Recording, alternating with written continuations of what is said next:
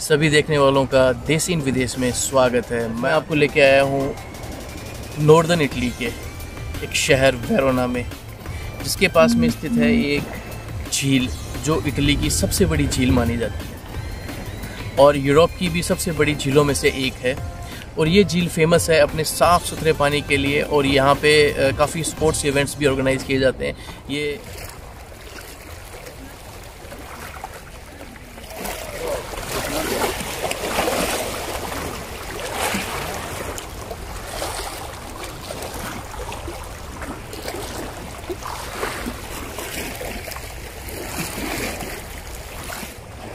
जल क्रीड़ाएँ करती हुई दो बतखें मेरे सामने।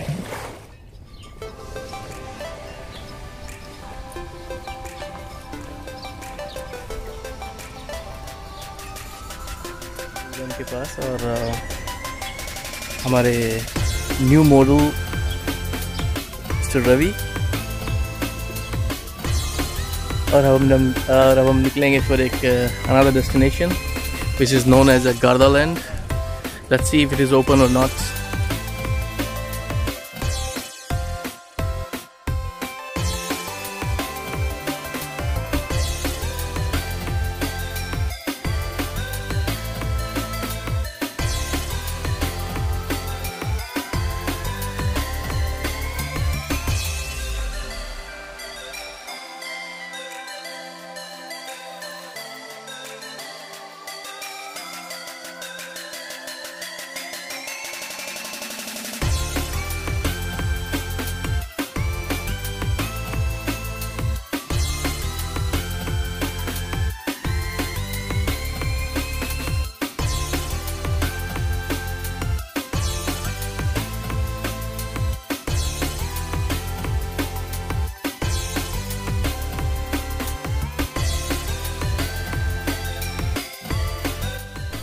और अब हम पहुँच रहे हैं गार्दा लैंड के पास। गार्दा लैंड बेसिकली एक अम्यूज़मेंट पार्क है जिसमें काफ़ी बड़ी बड़ी राइड्स झूले और ये सब लगे हुए हैं। If you are travelling northern eastern Italy with the kids अगर आप वेरोना बच्चों के साथ आते हैं तो गार्दा लैंड एक बेस्ट चॉइस है बच्चों के लिए। और दोस्तों, हम पहुँच चुके हैं गार्दालैंड के सामने। ये है गार्दालैंड की मेन एंट्रेंस जहाँ आप गार्दालैंड की 42 यूरो की टिकट लेके एंटर हो सकते हैं और एंजॉय कर सकते हैं पूरा दिन different different rides and swings के साथ। और ये टिकट्स आपको गार्दालैंड की ऑफिशियल वेबसाइट से मिल जाएँगी, जहाँ से आप ऑनलाइन ये टिकट बुक कर सकते हैं। So enjoy the Gardaland and I keep continue exploring other part of Verona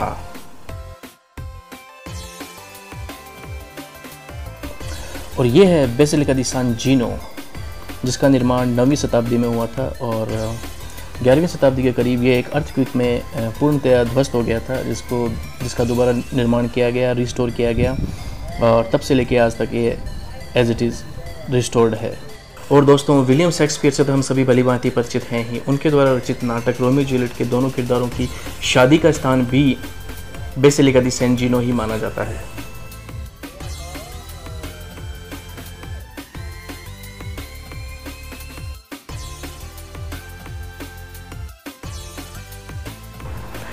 और दोस्तों, ये है कासल वेक्यो ब्रिज जिसका निर्माण यहाँ के शासकों के द्वारा आपातकाल स्थिति में उनके सुरक्षित निकास को सुनिश्चित करने के लिए बनवाया गया था। और इसका निर्माण तेरह और तेरह के बीच हुआ था और 1945 में जर्मन ट्रूप्स द्वारा इस ब्रिज को कम्प्लीटली नष्ट कर दिया गया था। इस ब्रिज को दोबारा बनाने की प्रक्रिया उन्नीस सौ उनचास में शुरू हुई, जो कि उन्नीस सौ इक्यावन में जाके समाप्त हुई थी।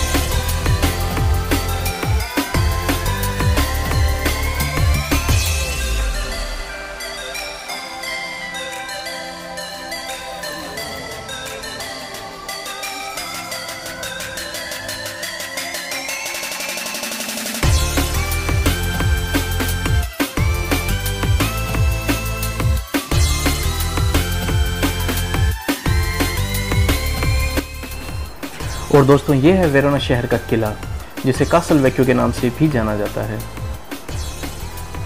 इस किले की खासियत यह है कि इसे बहुत ही छोटे और कॉम्पैक्ट रूप में बनाया गया था।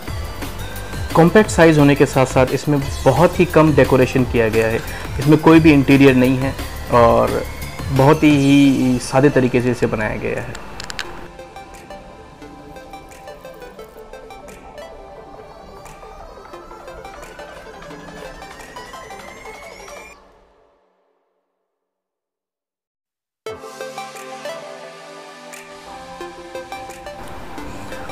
और दोस्तों, ये है एक व्यू एडिज रिवर का। एडिज नदी के दोनों किनारों पे बसा हुआ है ये प्राचीन शहर, जिसे वेरोना के नाम से जाना जाता है।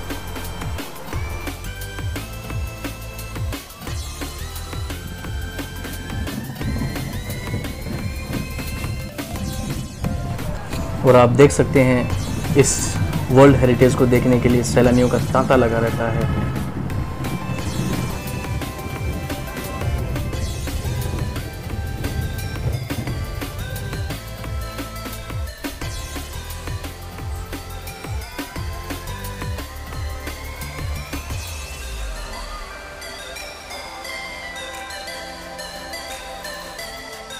नदी के तेज़ बहाव में नौकायान का आनंद लेते हुए कुछ स्कूली बच्चे और उनके टीचर्स।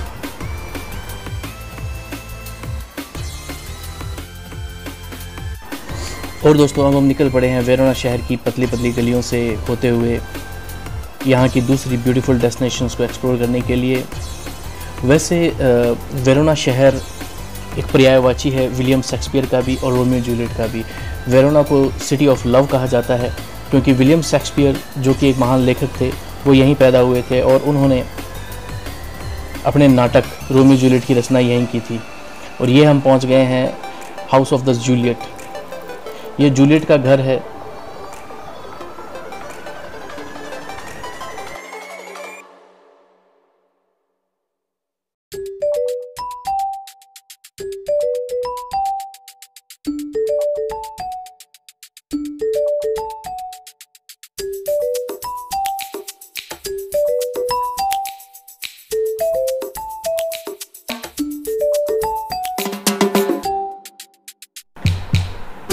और दोस्तों, ये जो सामने आप बैल्कनी देख रहे हैं रोमियो एंड जूलियट जो ये नाटक है, उसमें इस बैल्कनी में जूलियट खड़ी होके रोमियो का इंतज़ार करती थी, ये ऐसा ऐसा कुछ इसमें चित्रण है, जिसकी वजह से ये बैल्कनी काफ़ी फ़ेमस है, और आप देख सकते हैं कई जूलियट्स अभी भी खड़ी हैं ऊपर and they are waiting for their Romeos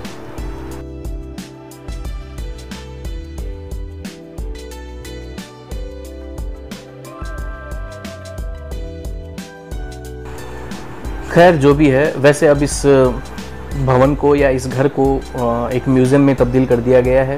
सैलानी यहाँ आते हैं लाखों की संख्या में इसे देखने के लिए।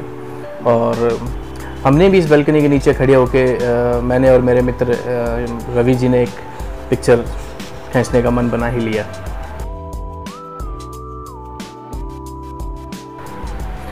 और आपको यहाँ पे दुनिया भर के सभी फ़ेमस ब्रांड्स के आउटलेट्स और शोरूम्स देखने को मिल सकते हैं।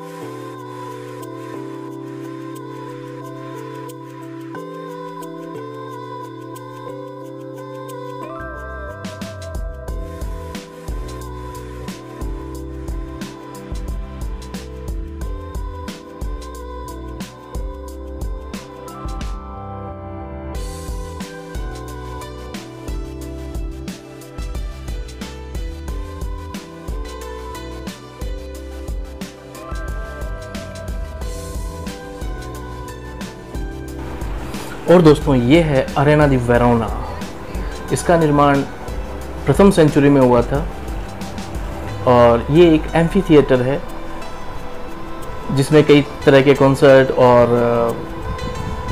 नाट्य प्रस्तुतियाँ वगैरह हुआ करती थी।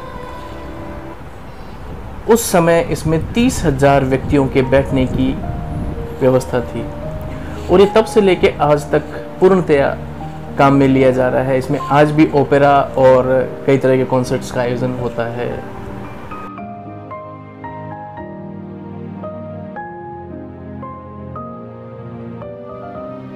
And this is the one of best restored structure in this world और अरेना के सामने ये बहुत बड़ा प्यासा जिसे प्यासा ब्रा के नाम से जाना जाता है।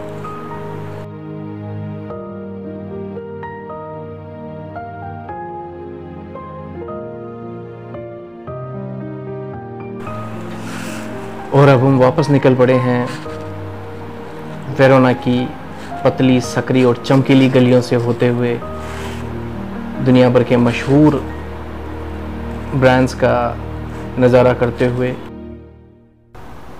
तो दोस्तों, वेरोना शहर की खूबसूरती को हमारे जहन में समेटे हुए और मेरे कैमरे में कैद करके अब हम वापस निकल पड़े हैं घर की ओर।